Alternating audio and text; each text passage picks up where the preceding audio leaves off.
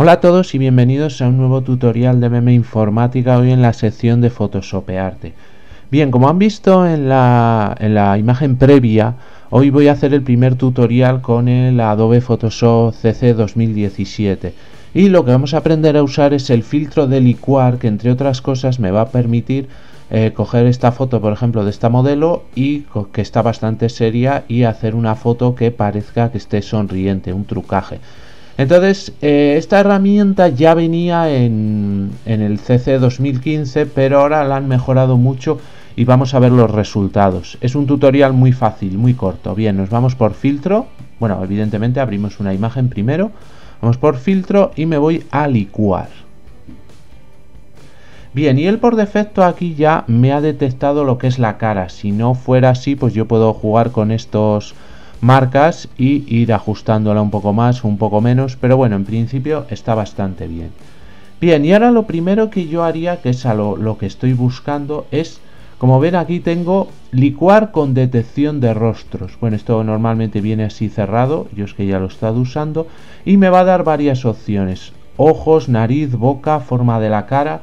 Vamos a empezar, por ejemplo, por los ojos. Entonces aquí tenemos una cosa que es nueva, porque en la versión anterior hacía los ojos a la vez, aquí los podríamos hacer por separado. Si yo por ejemplo aquí cojo tamaño del ojo y lo muevo, pues como ven ahí lo está empequeñeciendo o aquí lo está agrandando. Y si quiero hacer los dos a la vez, voy a poner esto en cero como estaba, puedo marcar aquí y entonces ya los dos ojos van a ir juntos. Ahí ven que van juntos y entonces los estoy haciendo más grandes. Bien, voy a dejarlo como estaba y voy a jugar un poco con los ojos. Le voy a dar un poco como que los tiene más abiertos. Hay uno y también el otro. Bien, entonces ahora aquí tengo por ejemplo la altura del ojo. Pues como ven puedo jugar ahí con la altura del ojo. Jugar un poco con, con ambos. Luego tendría anchura, inclinación del ojo. Bueno, es jugar un poco hasta encontrar el punto que nosotros queremos. Porque esto no es lo que estamos buscando. Y luego tenemos también distancia entre ojos.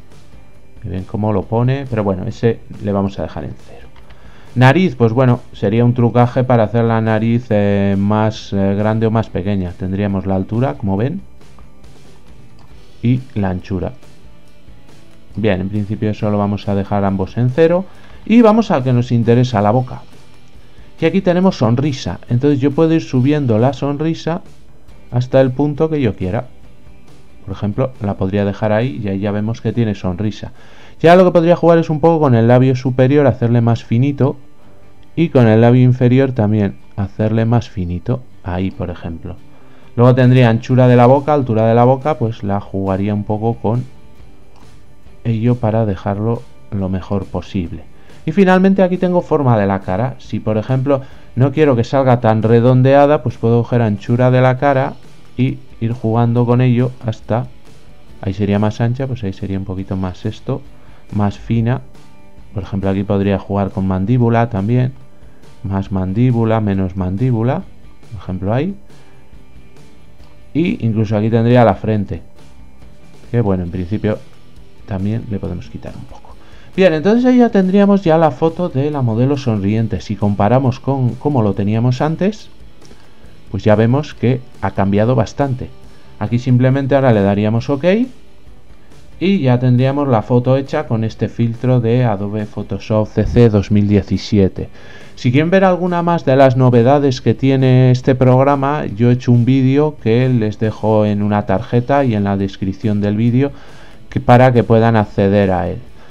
Muy bien, pues hasta aquí el tutorial de hoy. Si les ha gustado me pueden dar un like, se pueden suscribir a mi canal, ya saben, ahí abajo donde pone suscribirse y así van a estar informados del vídeo, vídeos que subimos a diario. Me pueden seguir en las redes sociales y en las páginas web de BM Informática y la Guardia de. Cualquier comentario, sugerencia o petición me lo ponen debajo que yo contesto a todos. Muy bien.